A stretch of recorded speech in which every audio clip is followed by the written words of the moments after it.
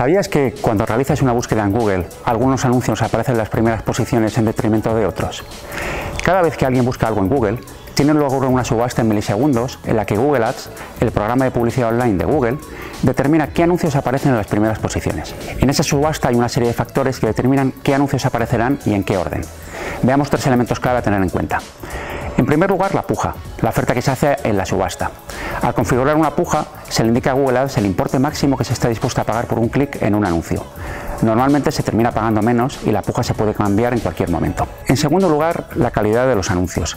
Google Ads también examina la relevancia y la utilidad tanto del anuncio como del sitio web a que enlaza. Y en tercer lugar, el impacto previsto de las extensiones y de otros formatos de anuncio.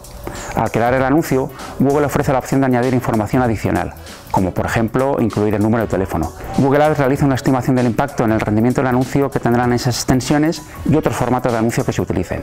En resumen, estos son los tres factores clave que determinan que un anuncio aparezca en las primeras posiciones cuando realizamos una búsqueda.